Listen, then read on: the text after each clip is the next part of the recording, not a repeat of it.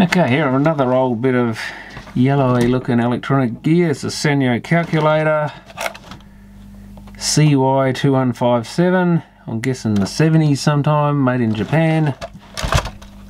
And I think this thing was meant to be not working, but I did give it a quick look. Someone's cut the plug off and hasn't done a very good job of replacing it with an old one. It's probably been like that since the 70s or something. I think once I put that switch back to zero and set a couple of these other switches, it seemed to work alright. So we've got negative, overflow. I think that was pretty standard with this type of adding circuits they used in these things for overflow to be like a, a final carry or whatever. 23 plus 23, 46 times 6, 276. Uh, clear all, is it? Oh, is that clear memory? Clear all, I think CA maybe. 2 times 6. Seems to work. 12. Where's divided by? Oh, there. God, what a place to put it. 12 divided by 6. Uh, 24. That doesn't work. oh, now we're going mental. We're getting all digits up. Clear all. 6 divided by 2. Maybe I don't input it that way. 3. Oh, that worked that time. Maybe I did. Maybe I didn't hit clear all. 12 divided by 6. 2. Yes, that's working. Oh. So that's the negative. Hmm, interesting. 6 minus 2. 4. RCCK RM. Is that some sort of memory or something to do with the memory? 5 times 6 memory plus. No, I don't see a memory light anywhere. Uh, get the right button. So we want 6 minus 9 equals 3 and I don't see a negative light there but whether that's blown or something I guess that could be a problem with it or is that an early LED? Looks like an LED, but doesn't mean it is.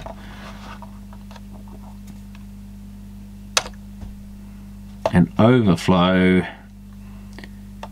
what do I get? Like full digit 666 times 66666.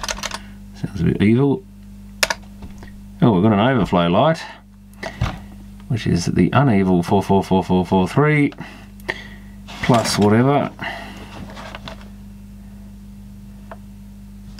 And this came from John Crean's Electronic Business Equipment, 255 Liverpool Street, Hobart. Telephone 342957, sold and serviced by, and we can see the original colour under there because it's a nice foil label. So this could do with some retro brighting, but I think it's basically functional, which is not surprising. Like most of these Japanese calculators and stuff, again, they just go forever. So nicely made. They just went forever, even though it's probably had a fair bit of use in a business or something. That's the kind of place this would have been used. Nice big one you can sort of punch all your accounts into or whatever. Takings for the day or something. Bit of dirt and muck in there. Oh my god, a lot of dust in there. So, oh look at this, we've got the old Old nice gold plated chips, they're not quite ceramic ones. EAs. EA 7172, EA 7022. Both have got 7401A. That might be the date code, 1974, first month, quite possible. It's even got a look at this, an edge connector on it. On the board, Japanese ISI or something, ISL, ISE. I'll get it right in a minute. DP127F. You could probably still find a data sheet on it. What is this thing stuck to the back of it? Oh, that's... Oh, so it's got... Okay. Oh, also, it's not an edge. I'm expecting to see pins sticking out the bottom of this thing soldered to the circuit board, but it's got, like, little plug-in connectors on it. So that's what an old display that is. This is a real early one. I haven't looked in a calculator this early in a long, long time. It's got one of those old funny bridge rectifier things. I hope that's just yeah, green spaghetti they put on the leads. I was going to say, otherwise the leads have gone very green. And these diodes, yeah, very black in the leads and stuff. Probably some silver migration going on or something, and yet they still work. ABS. And that's our keypad, nice solid one. I don't know whether it's got contacts or reed switches or what in that thing, but probably just contacts of some sort, but amazing they lasted that long. And then we've, yeah, we've got these two lights.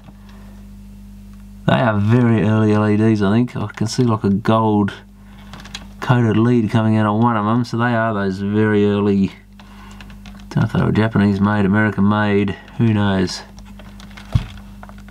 And some very old school capacitors, Sanyos, still probably work alright, I guess we should have a look at those. That one's looking like the foil, the plastic's a bit back on it, like when they shrink when they're hot. But these, a lot of these ones were made like that, I think, because I doubt it's been particularly hot in here. So it's 100 volt at 10 mic. I probably should actually check that doesn't have any voltage in it, because that's probably some of the high voltage stuff for the fluoro display. Oh, 3 volts. Well, I guess I'll take a risk and short them out a bit. I doubt there's going to be any real current there now. 2.1, 2.0, that's a 10 microfarad at high voltage. 250 volt is 2.5, so it still rates better. 3, should read about 3 on the ESR meter. They've even listed some of the key key lines, key any key in 3, or in 1 I guess, 5 quarter decimal point four two maybe. Toshiba TM4356 I don't know that's a memory chip. A very old school Toshiba memory chip possibly. Can't remember what their TM chips were but they might have been something like that. And yeah very old school. Nice little metal plate everything sits on in the power supply. What have we got there? Some sort of inductor maybe that's even got an earth, a little toroidal wound onto the earth wire, so almost like an early bit of interference suppression, so that's quite amazing they were putting that in that early. But again, probably a little touch they did so it doesn't interfere with your Sanyo radio or something while you're using your Sanyo calculator, which would look bad.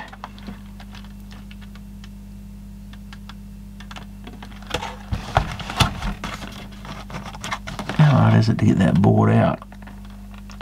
Not that hard, I don't think, but I think I'll leave it for now. We've got, that's a nice looking, is that going to come off easily? Yeah, little edge connector.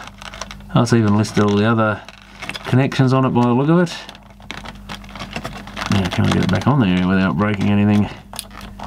Yep. Sort of one you could have cut down and shoved on the back of your Commodore 64 by the look of it. Be about the right size, I think. So yeah, an interesting little piece of gear. Display's a bit different inside to the usual one. It's got the little, yeah, each individual thing's got that little sort of honeycomb fine mesh thing over it. I don't know, it looks like it's got actual heater or filament wires going down the, each little segment. Just one of them maybe. So we don't have the usual modern display with a whole bunch of them going side to side.